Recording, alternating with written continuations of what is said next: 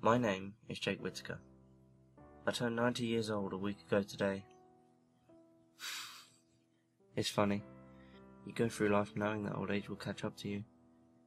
And you still wonder where all the time went once it does. At least that's what the other folk around the retirement home say. I know exactly where my time went. I've seen the world from so many perspectives, everything from the rose tinted glasses of youth to an old man's tired cynicism. I've learnt a great deal of things in my day. But even for someone of my years, some things will always remain a mystery. There are things in life you just get comfortable with, even without an explanation. You just accept them, and you even come to expect them. You stop to think about it every now and then, wondering if there's an answer, but you eventually stop trying. It is what it is, no changing it. No need to. For me, that thing's been around for as long as I can remember. I've walked through life with a very strange companion. My grandfather died in the fall of 1931. It wasn't anything tragic, it was just his time. He survived until he eventually became senile. His life was already over, as far as I was concerned. Sure, I was sad to see him go, just the same as any other little boy would. But I watched him fade away, and I knew he wasn't my grandfather anymore. He just wasn't in there. He was gone. So I didn't cry at his funeral. I'd done plenty of that once I realised he'd forgotten my name. I just said my goodbyes and washed my hands of it. I did a lot of remembering though. I remembered all of the things about him that mattered to me. I remembered all of the coins that he pulled from behind my ear, all of the walks in the park, and the short games of catch before he started complaining about back pain. You know, the simple things that made him my grandpa. I especially remembered his stories. He had a million of them most of them far-fetched and funny, and all punctuated with his own laughter. He liked to think he was the next Mark Twain, but he wasn't as witty as all that. He was just a silly old codger. Still, we all liked to listen to him ramble on, and that was enough for him. The stories I recall most, though, were not silly anecdotes. In fact, they weren't even really stories. Not really. They were more like obscure references, the kind you might hear about La Llorona, the Tooth Fairy, or Boogeyman. The ones I grew up with were about the owl. There was a difference between the owl and all those other creatures, though. All of these creatures you hear about, they're urban legends because there's always a story behind them, not the owl. Grandpa never told us what the owl was, where it came from, or what it did. The owl was just the owl. The references were never consistent either. We don't know if we were supposed to fear it or feel safe because of it. One night he'd tell us not to be afraid of the monsters under the bed because the owl would keep them away, and another day he'd tell us not to tell fibs or eat candy before dinner because the owl was watching. My older brother, Jeffrey, who passed away five years ago, God rest his soul, stopped believing in the owl after my grandpa died. He just wrote it off as another one of the old man's tall tales. I believe though. I had always believed, and I knew for sure after the wake Everyone took turns walking by his open casket to say their final goodbyes, commenting on how peaceful he looked and saying he was in a better place, the usual remarks for the occasion. And then it was my turn. I was only nine years old, and I still hadn't reached my growth spurt, so I had to stand on my toes a bit to see. The first thing I saw was my grandpa's face in profile, expressionless and pale, and it choked me up the way you'd expect. It was also my first experience with death, so I was much too disturbed to look for long, and then I saw something that no one else seemed to notice, or if they did, they didn't make any mention of it.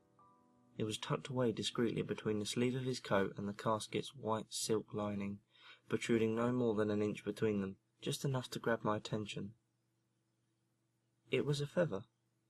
It was long and beautiful, a tuft of snowy white down the base of the quill, pure silver white with faint stripes of grey along the vein. It seemed so deliberately placed, but I hadn't seen anybody else put it there, and I'd been nervously watching the line of mourners move ahead of me for the entire time. I almost reached for it, but I knew it wouldn't be proper. For a moment I forgot about my grandpa. The feather was all I could see, and I felt numb. Nobody else saw it, and nobody else would believe me if I told them. But I knew. I knew where it came from. It belonged to the owl. That night was a restless one for me, the first of many. It was a long time before I could sleep comfortably again, because that was the night when it first paid me a visit. In the moonlight, I could just make it out. It was perched on a tree branch just outside my bedroom window. A large and striking great horned owl, entirely silver in its appearance. Even its beak and talons were a sort of dull grey. I couldn't see its eyes as they were sunken into dark hollows. Its crown feathers hung at a lazy slant, and it didn't make the fidgety gestures you would expect from a bird. Its only movement came from an occasional slight twitch or a light rustling of its feathers in the breeze. It never moved an inch, never made a sound, and it never looked away. It stared through my window, directly at me, the entire night. I've seen it outside my window every night since. Sometimes it's on my windowsill where I can see its every feather, sometimes across the street in a neighbouring tree, but always near enough where I can see it.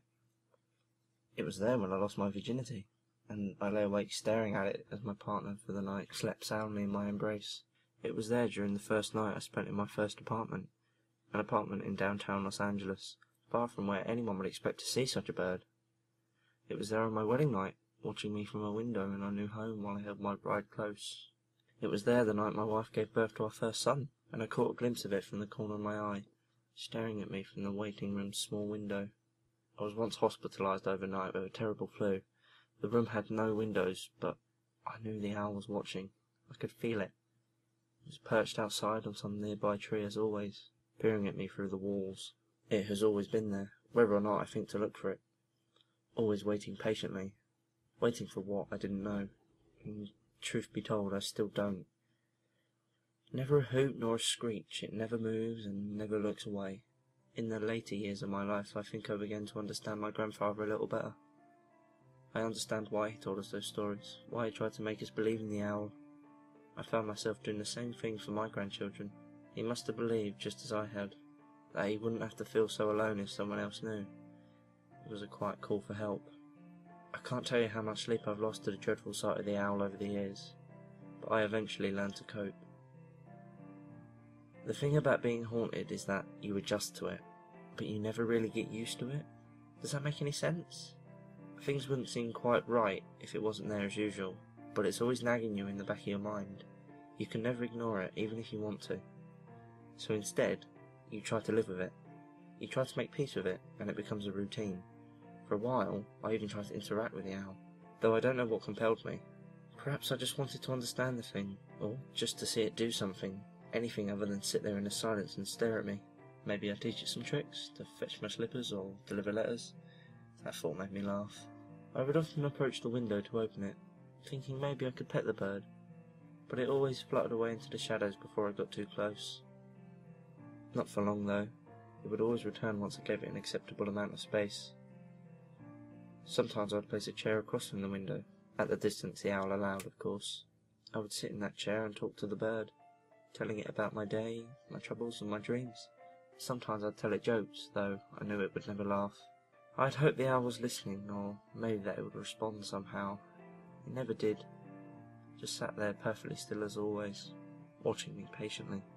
The owl has been my strange companion, even during these final days of my life. It's never left me, no matter how much I wish that it would. I've been sick lately, and I know I don't have much time left. The nurses know it, the other residents know it, I think the owl knows it too. Since I became ill around the time of my birthday last week, its behaviour has changed. It has begun to move, an anxious little shuffle, and it tilts its head from time to time in that impossible way unique to an owl. I can see its eyes now, dull amber beads and pupils wide with anticipation. I think I've even seen it smiling, if you can imagine the owl's lipless version of the expression.